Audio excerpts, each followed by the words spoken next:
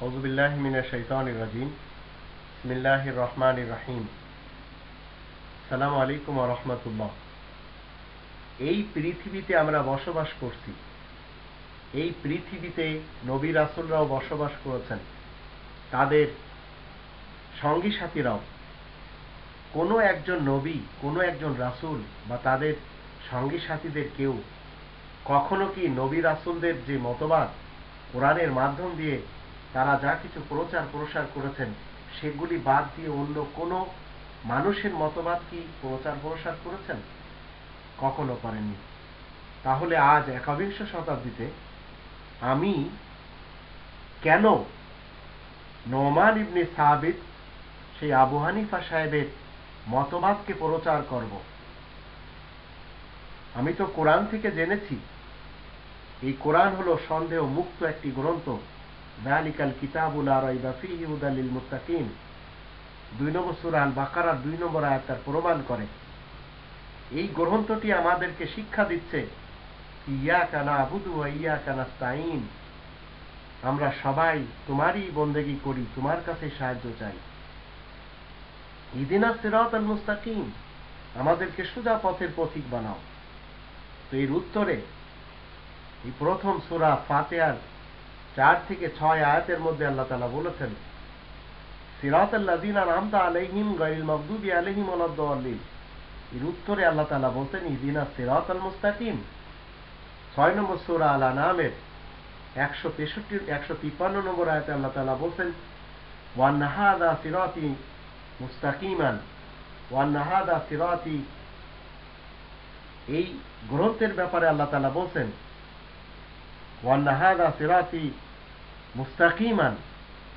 এই এই যে গ্রন্থ, এই গ্রন্থ সঠিক, সত্য, সনাতন পথের গাইড করে প্রত্যেকটি মানুষের, প্রত্যেকটি মানুষকে। তাহলে আমি কেন এই গ্রন্থ বাদ দিয়ে মানুষের বানানো গ্রন্থের পিছনে চলে যাব? আল্লাহ বলছেন ওয়ান্নাহাদা সিরাতি মুস্তাকিমান ফাত্তা বিউহু শুধু একটি গ্রন্থের অনুসরণ করতে আল্লাহ তালা বলেছেন, এটাই সিরাতে মুস্তাকিম। এই পৃথিবী আবু হানিফা সাহেবের না এই পৃথিবী আল্লাহ তালা এই পৃথিবীতে আল্লাহ তালার কিতাব কীভাবে প্রচার প্রসার হবে, তার জন্য সকল নবী রাসুলগণ চেষ্টা সাধনা করেছেন, এমনকি মোহাম্মদুর রসুল্লাহ খাতামান নবীনু পাঁচ নম্বর সোরা আল মাইদার সাতষট্টি নম্বর আয়াত তার প্রমাণ করে।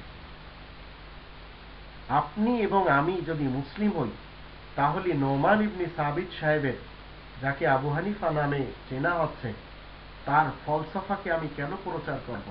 আমি কেন ইচ্ছা করব যে এই পৃথিবীতে নোমান ইবনি সাবিদ সাহেবের ফলসফা ইস্টাবলিশ হোক? আমি মুসলিম, তাই আমাকে কোনো ইরাকি ব্যক্তির, কোফার ব্যক্তির মতবাদ প্রচার করার অধিকার নেই, কারণ এই পৃথিবীটা আল্লাহ তালা আল্লাহ তালার পৃথিবীতে যারা মানব রচিত কোনো গ্রন্থ, মানব রচিত কোনো ফলসফা, মানব রচিত কোনো মতবাদ প্রচার প্রসার করবে, আল্লাহ তাদেরকে ধ্বংস করে দিবেন। দুই নম্বর সুরাল বাকারার উনআশি নম্বর আয়াতটা প্রমাণ করে। তো সিরাতে মুস্তাকিম যখন আমি পেয়ে গেলাম কোরআন আকারে, তাহলে আমার তো কোথাও কোনো ভয় নেই। আমার জীবনে কি করতে হবে, না করতে হবে, সব এই গ্রন্থ বলে দেবে। তাই তো আল্লাহ তালা উনিশ নম্বর সুরা মারিয়ামের সাতানব্বই নম্বর আয়াতে বলে দিয়েছেন বিলিসানিকা। এই গ্রন্থ তোমার মাতৃভাষায় পড়া সহজ। ইনওয়াইল্লা জিকরুল্লিলা আলমিন। জাহানবাসীদের জন্য এই উপদেশের একটি গ্রন্থ আল্লাহ তালা দিয়েছেন। তাহলে আমার কোনো ভয় নেই। কে কি বলবে আর কে কি মন্তব্য করবে সেদিকে আমার তাকানোরও দরকার নেই। পৃথিবী আল্লাহ তালার আল্লাহ তালার পৃথিবীতে আমি আল্লাহ তালার কথায় প্রচার প্রসার করব।